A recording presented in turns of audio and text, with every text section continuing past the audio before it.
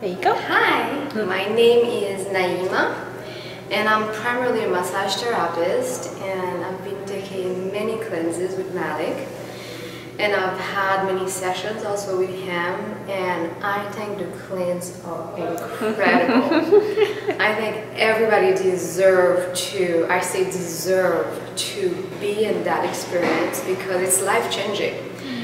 And with so much pollution and so much different theories about food and diet, it's crucial to be able to find someone who is um, able to do proper researches, to give the proper information so people can have a better guidance with what they want to do and how they want to support themselves. So I highly advocate taking the cleanses and having session with him and I've been following his teachings and they have been impacting me and impacting my work for many years. So I'm full on with it and I fully encourage people to go for it and not hesitate. It's one of the best gifts I think people can give to themselves. Wow, that was excellent.